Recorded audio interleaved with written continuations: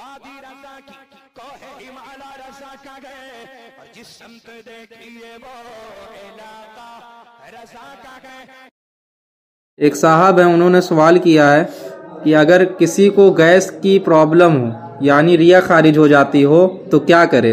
मसलन अगर वज़ू करता है और गैस निकल जाए और बार बार यही हो तो क्या हुक्म है? फ़ुका के अतलाह में इसको इनफिलाप बतन से ताबिर किया गया है। यानी कोई आदमी ऐसा गैस का मरीज़ है कि हर लम्हा उसे गैस खारिज होता रहता है। इतना वक्त भी नहीं मिलता है उसे कि वदू करके वो नमाज़ पढ़ ले। तब ऐसा शख्स माजूर है। माजूर का हुक्म यह है कि वक्त दाखिल होने के बाद वदू करे और जब तक वक्त बाकी है, जितने फ़राइद नवाफिल अदा करना चाहे, कर सकता है। हाँ ऐसे शख्स को जो माजूर है, उसे इमामत करने का हक नहीं है। वो नमाज़ दूसरे के इकदाम पढ़ सकता है।